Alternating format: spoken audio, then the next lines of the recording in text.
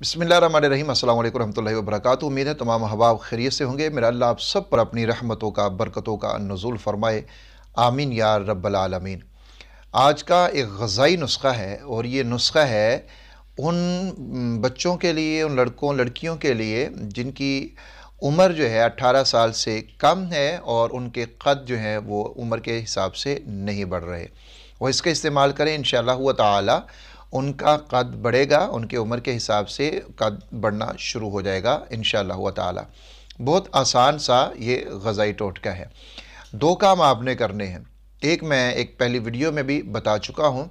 वो ये कि ऐसे लड़के या लड़कियाँ, ऐसे बच्चे या बच्चियाँ जिनका कद नहीं बढ़ रहा, उनके लिए ये है कि वो अपने बाएँ बायां अंगूठा जो है, इसके ऊपर वो जैतून का तेल या कलवंजी का तेल इसके चंद कतरे लगाएँ अपने बाएँ अंगूठे के ऊपर और फिर दाएँ हाथ से उसको इस तरीके से पकड़ें और इस तरह उसकी मालिश किया करें।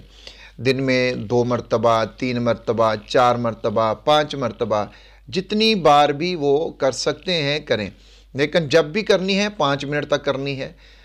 चार पाँच कतरे अंगूठे के ऊपर आपने आयल के डाल दिए, जैतून का तेल होगा या फिर वो कलवंजी का तेल होगा।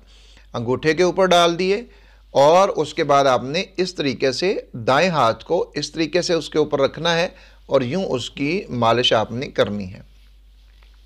ठीक हो गया? ये तरीका आपने ज़रूर आजमाना है साथ में।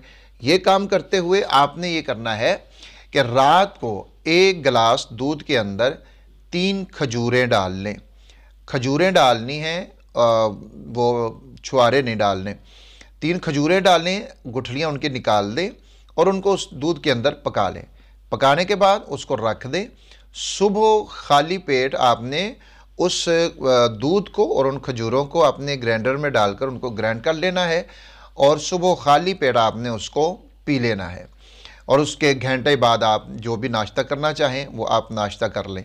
बस ये इतना सा काम है।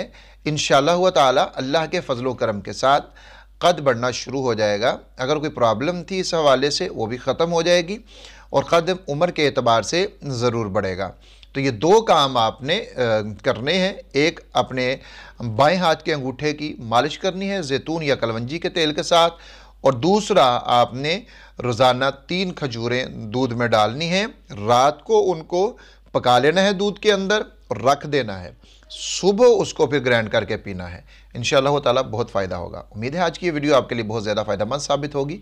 अपना ख्याल रखिएगा, दुआ में याद रखिएगा। अल्लाह हाफिज़ नासिर।